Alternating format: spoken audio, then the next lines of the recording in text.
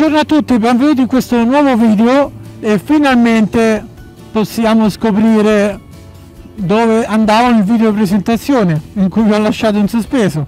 Siamo a Cori, provincia di Latina, paesino molto carino tra le montagne e questo è il primo episodio del tour vlog alla fine il nome ho deciso di tenere quello quindi ci inerpichiamo per le montagnette anzi per le montagnette per queste salite guarda che roba. Ci...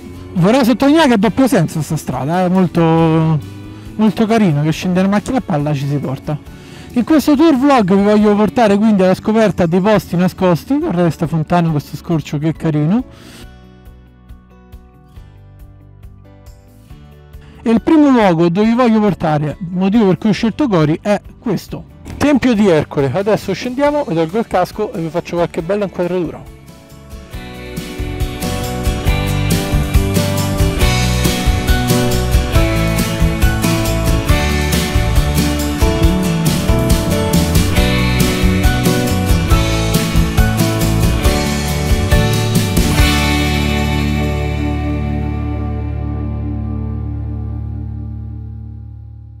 Dicevo, Tempio di Ercole è un tempio greco del primo secolo a.C. Le colonne che vedete sono eh, quelle originali perfettamente conservate. Eh, la particolarità è questo, che è un campanile di una chiesa, in quanto il tempio si trova in questo perfetto stato di conservazione perché è stato inglobato in una chiesa cristiana, quindi in realtà eh, questa parte del tempio greco fungeva da ingresso diciamo, della chiesa cristiana che è stata costruita successivamente. La chiesa è stata distrutta dai bombardamenti della seconda guerra mondiale, ne rimane solamente il campanile che vi ho fatto vedere e ciò però fortunatamente non ha comportato la distruzione anche delle, del tempio, eh, diciamo questo era solo l'ingresso al tempio, la, questa grande porta che vedete portava alla cella principale del tempio in cui era contenuta la divinità.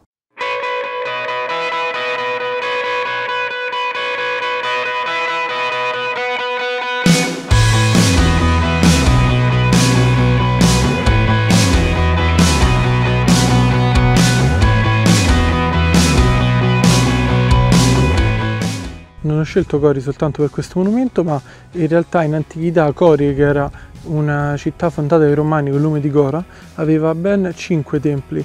Oltre questo, che è sicuramente quello conservato in modo migliore, ce n'è un altro, di cui sono rimaste solo poche colonne, eh, vicino alla chiesa di Sant'Oliva. Quindi andiamo lì e vi porto a vedere un altro pezzettino di storia. A dopo.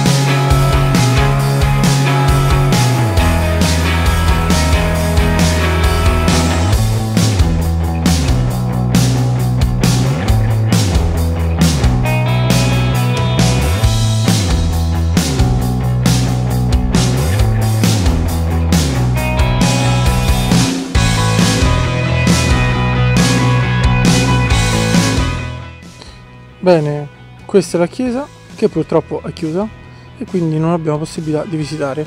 Adesso vi porto a vedere altre due cosine, continuiamo.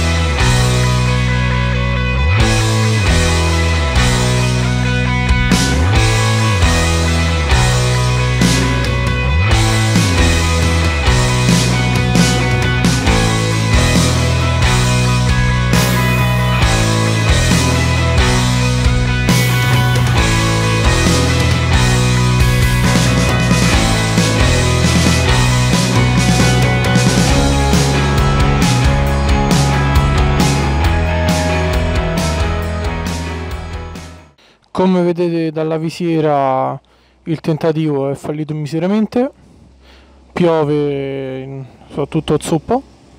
Prima di lasciarvi l'ultima clip ci tengo a ringraziare Vincenzo Pacifici e Leonardo Molara.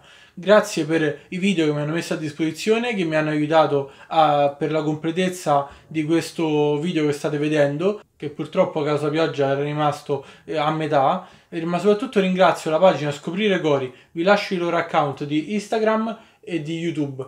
Vi invito veramente a seguirli, sono stati davvero gentili, mi hanno dato tante informazioni per la realizzazione del video, mi hanno messo a disposizione il materiale, le loro informazioni e quindi li ringrazio anche qui pubblicamente sul video e vi lascio l'ultima clip. Con queste immagini della fazzerina sotto l'acqua noi ci salutiamo, mi dispiace per il video è venuto più corto del previsto ma la pioggia ci ha fermato per oggi. Io vi ringrazio per aver visto il video, iscrivetevi al canale se non l'avete ancora fatto, condividetevi, grazie a tutti, ciao! No vabbè ragazzi, sembra una presa in giro. Guardate da addosso usci fuori le nuvole là sempre se si vedono. E invece di qua, dopo 4... Oh, riccio morto purello. Guardate il sole! Guardate il sole! Cioè, due climi diversi a distanza di due chilometri, incredibile. Sono passato da essere fracico a morire caldo, magnifico.